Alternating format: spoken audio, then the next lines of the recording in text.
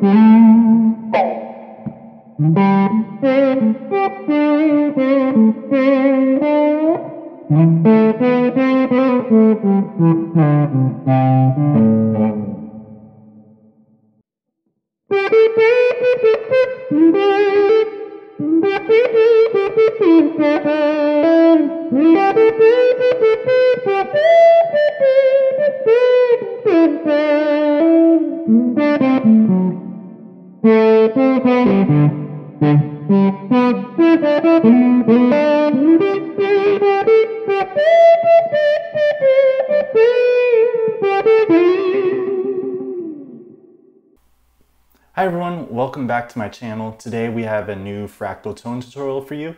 And this is kind of an update to a video I did quite a while ago, maybe around a year ago. And this is how to dial in John Mayer's tone for songs like Rosie and I Don't Trust Myself with Loving You and even the solo to like songs like Wildfire. Um, but this is how to dial in the Qtron and the Roger Linn Adrenalinn type of tone. Uh, I made a few updates that I think maybe are getting it a little bit closer to the real deal. While it's never going to be the real deal, um, we can always just approximate this. So I wanted to share this with you today. Uh, before that happens, don't forget to subscribe to the channel. Uh, I'm sorry I couldn't uh, post my uh, regular amount of videos. It's been a pretty busy time with me finishing up uh, my school year uh, for teaching. So I'm going to try and pump out as many videos as I can and hopefully it's uh, good content for you. And don't forget to uh, hit that little like button and maybe some comments if you want to see some other type of videos in the future. And also uh, something I'm doing, um, I have a bunch of presets that are on my channel, a lot of John Mayer type of stuff. I have a Clapton one as well, and it's all fractal related. If you are interested in those, um, you can leave a comment or I'll have my email address in the description box. And really all I'm asking is maybe just to leave a super thanks uh, using that super thanks function. Uh, whatever you want to pay, it just helps support the channel and helps me to produce newer content for you all. But enough of that, let's uh, dive into the fractal tone tutorial. Um, today we're going to use my PRS Silver Sky and we're just going straight into the Fractal FM3 and I'll show you everything on how I dialed it in. Uh, but this is kind of an update, like I said, after doing a little bit of research and getting some uh, helpful tips from some guys on the Fractal forum. So let's go right into Fractal FM3 edit so here's my signal chain right here. It's uh, kind of something similar to what you've seen before. Uh, the first clip, we had a drive, the filter block, and then your typical like the amp cab and stuff. Um, for the amp, here are my settings. Nothing's really changed. Uh, it's pretty clean. Um, I'll turn off uh, these guys and just play a little bit for you.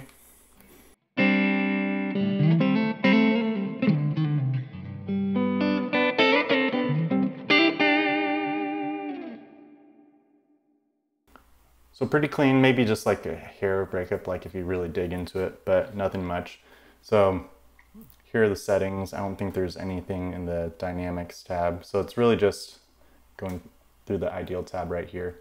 So uh, the cabs, um, I kind of did something a little bit different with my cabs. Um, I tried the Two-Rock one with a 160 uh, ribbon mic in front of it kept the room mic IR um, as well, um, but the only difference is uh, using a 2x12. The 4x12 Rumble, um, I was getting some uh, extra like gain and I didn't, uh, maybe that was from like the extra amount of bass, but the intro clip was on this uh, cab combo and then nothing in the preamp. I didn't do any low cuts did my typical room level uh, with the room shape being the room, not the hall.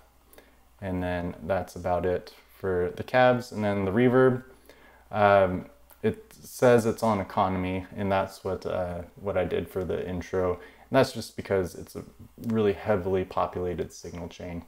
Um, but here are the settings for that. So the intro clip is these guys right here. So the drive, it was my kind of Klon type of uh, block right here. So it's the FET boost. Here's the main page right here. And then here's where it gets interesting with all the, I feel like it's a lot of mid sculpting because it has a little bit more, uh, it's a little different mid character than like a, a tube screamer. So here are my settings. Nothing in the graphics EQ. And then all I did right here was uh, change it to a germanium uh, diode clipping because that's what a Klon is. And then moving on to the filter block, uh, didn't really change too much here except I adjusted the level quite a bit. I think it was at around like 5 dB uh, in my previous video, something like that. Um, and then nothing's changed in the frequency um, menu right here for the modifier. But what has changed is I attached an envelope follower to the Q.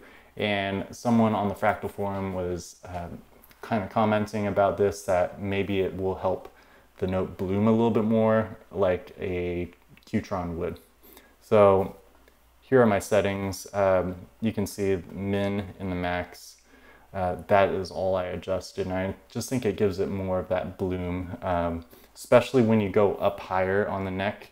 Um, you can really hear it kind of quack a little bit. So let's just play a little bit and you will kind of hear what it does. We'll, we, what we'll do is we'll go ahead and uh, disengage the, the Q envelope filter as well. But I'm on the neck pickup and everything is wide open here.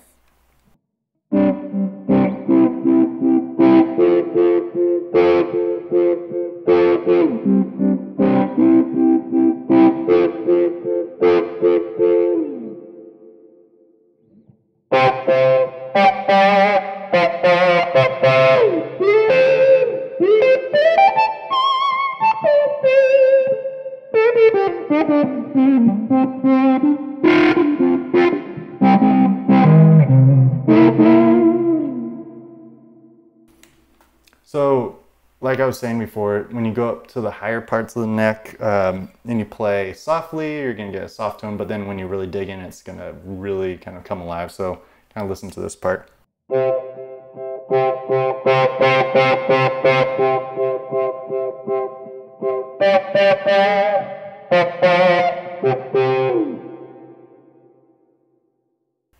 So I think uh, another big component, really key feature to this type of tone is having that drive uh, before or maybe even after. Um, it's kind of unknown whether John uh, has some sort of boost or drive in the loop of the Qtron these days, but who knows. Uh, but I think this is getting pretty close. But let's go ahead and see what happens if we uh, disengage uh, the envelope follower. So for the for the Q.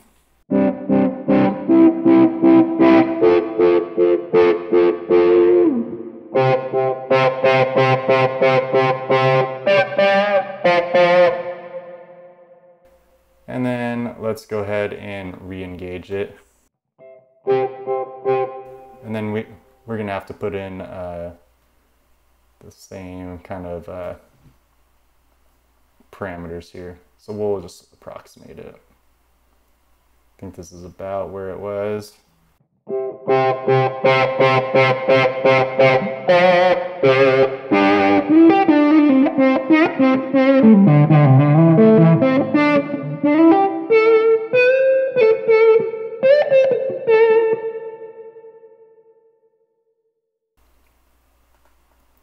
Okay, well there you have it. Those are my uh, new kind of features for this type of preset. Um, I think the the effect is more in the feel. Um, I'm not sure if you were able to hear it. I can definitely feel it, especially when I'm adjusting the pressure of when I'm uh, really hitting the strings hard and playing soft. I can really feel the note um, bloom. So hope that was helpful for you. Uh, give it a try. Let me know what you think.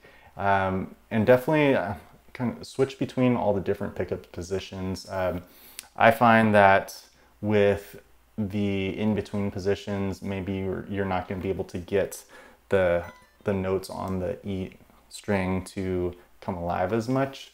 Maybe you might need to add uh, another drive or a different drive to get that to really open up a little bit. But hope this was helpful and we will see you next time. Bye.